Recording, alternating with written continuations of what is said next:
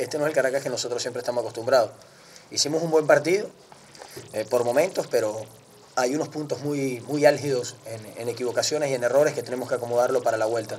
Si somos capaces de acomodarlo, vamos a tener chances. Si no, no vamos a tener chances jugando de local. Seguro contento por el resultado, si le podemos sacar provecho en la vuelta. Si no, va a ser una anécdota más y no un resultado favorable. Yo creo que, que fue fuerte en atacar, ¿no? Y procuró. Pero jugada de gol clara, que yo recuerde en el primer tiempo, no hubo un mano a mano, no hubo eh, una combinación en ataque que tú puedas decir se lo comió o lo falló. En mi opinión, no. En mi opinión, el gol que nos hacen fue un tiro libre que tiraron un centro y le aclararon un ángulo. Entonces, tampoco una, una supremacía futbolística tal como para yo decir que la sacamos barata, ¿no?